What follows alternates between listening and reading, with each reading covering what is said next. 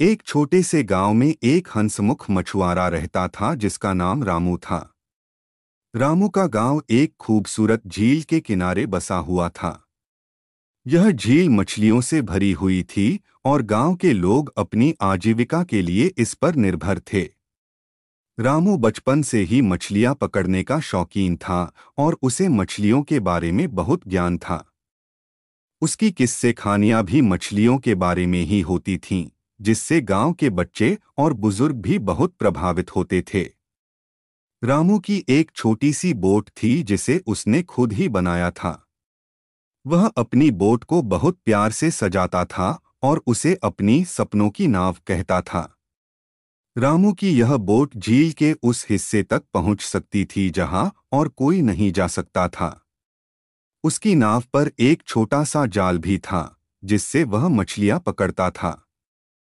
रामू का एक सपना था कि वह एक दिन सबसे बड़ी मछली पकड़ेगा और उसे गाँव के मेले में दिखाएगा।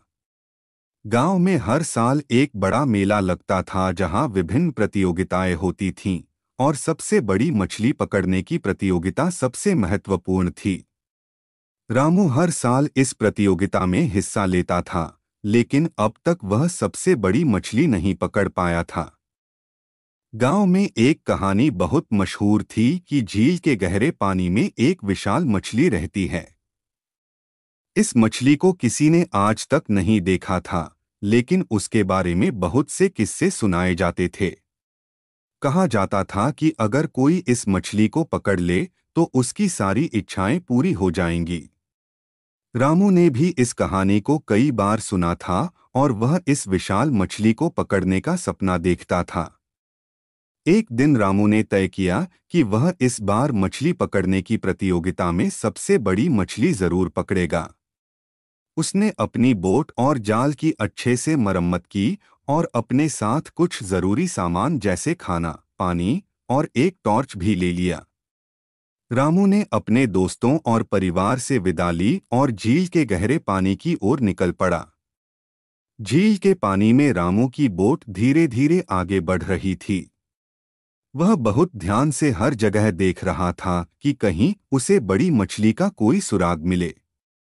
अचानक उसे कुछ हलचल महसूस हुई। उसने देखा कि पानी में कुछ बड़ा हिल रहा है। रामू ने तुरंत अपना जाल फेंका और बड़ी उत्सुकता से इंतज़ार करने लगा। कुछ देर बाद रामू को अपने जाल में कुछ भारी महसूस हुआ। उसने धीरे धीरे जाल को खींचा और देखा कि उसमें एक विशाल मछली फंसी हुई थी। उसकी खुशी का ठिकाना नहीं रहा।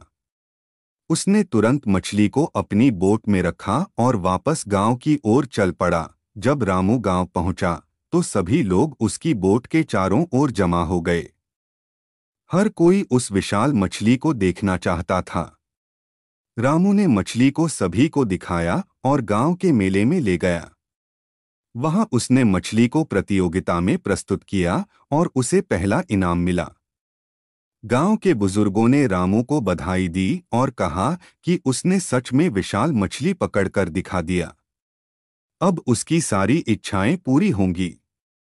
रामू ने अपनी इच्छाओं के बारे में सोचा और सबसे पहले उसने अपने गाँव के लोगों के लिए एक बड़ा तालाब बनाने की सोची जहाँ सभी लोग आराम से मछलियाँ पकड़ सकें। उसने अपने इनाम की राशि से तालाब बनवाया और सभी गाँव वालों के लिए एक अच्छा जीवन सुनिश्चित किया। रामू की यह कहानी पूरे गाँव में मशहूर हो गई और लोग उसकी मिसाल देने लगे। उसकी मेहनत और संकल्प ने उसे उसकी मंजिल तक पहुँचाया। रामू ने अपनी ज़िंदगी खुशहाल और संतोषपूर्ण तरीके से बिताई और उसके गाँव के लोग हमेशा उसके आभारी रहे इस तरह रामू की मछली की कहानी गाँव के बच्चों को प्रेरणा देती रही और सभी ने यह सीखा कि मेहनत और संकल्प से किसी भी सपने को साकार किया जा सकता है।